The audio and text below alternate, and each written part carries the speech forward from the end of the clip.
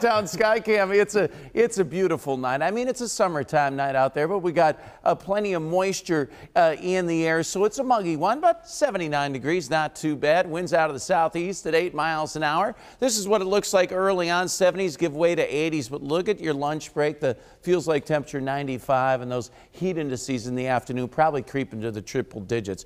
It was a beautiful Iowa sunset. Hope you had a chance to enjoy this down in Sheraton. High today 87, the average 86. The record 2012 105. Kind of unusual. Most of the records this time of year are either from 34 or 1936. 52 in 1887. The severe drought it is over in southwestern Story County, northwestern Polk County, much of Dallas County, Jefferson, Coon Rapids, Guthrie Center. It drops south of I-80, moves to the north up and through west, uh, western uh, Webster County. You can see that area in tan. That is a moderate drought area in yellow is abnormally dry. Look to the east, above normal rainfall. I-35 corridor about 1 to 2 below, and then the area where you have the severe drought, 4 to 11 inches below normal for the year. Few clouds are drifting through right now. The closest storm is over west of McCook, Nebraska, spinning over that way. Overall, it's pretty quiet. Lots of heat tomorrow. 90s Minneapolis,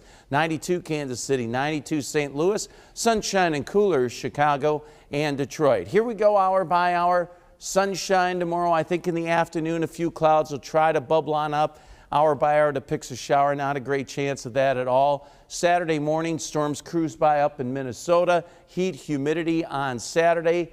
It is Sunday. We'll get some storms early in the morning hour. This may come together and form a line. If it does not, we'll get storms firing up in the afternoon, and they could be persistent potentially right through Monday morning.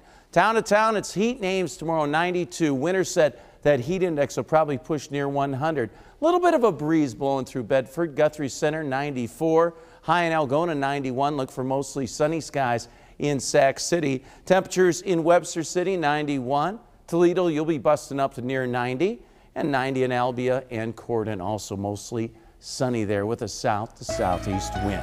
Tonight down to 70 mostly clear let's call it mild just 3 degrees below the average uh, above the average. Sunset tomorrow, 840, 93. Again, that heat index pushing near 100 degrees. Feels like temperatures early on, 70s and 80s. It's going to be hotter the farther west and northwest you are. You can see that lunch break, mid 90s out there, and by later in the afternoon, near 100, if not above, especially as you head to northwestern Iowa. Eight day forecast 90s Saturday. Sunday will hit the 90s if we don't get that morning rain. If we do, it may suppress that temperature, but it really does look like a good chance of rain, and I know we need it Sunday and the Monday. Tuesday, Wednesday, 80s, and then another chance of rain to finish your eight day.